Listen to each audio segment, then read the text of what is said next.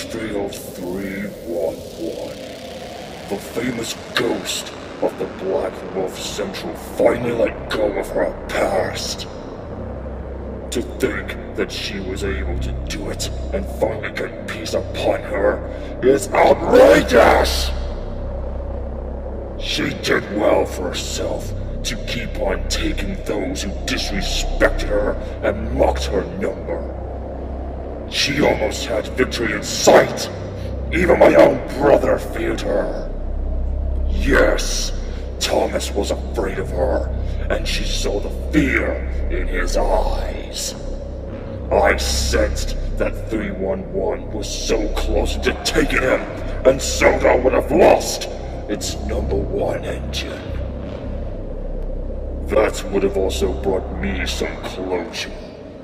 But no, somehow that ghost not only spared my brother, but the other engines too. Soon, Thomas, the day of when your end on this railway will come. I will see to it that you will never get to see the light of day. Always remember, brother, wherever you go, my shadow follows. And at some point, when the final hour is upon us, our story, our past, and our confrontations will be laid to rest.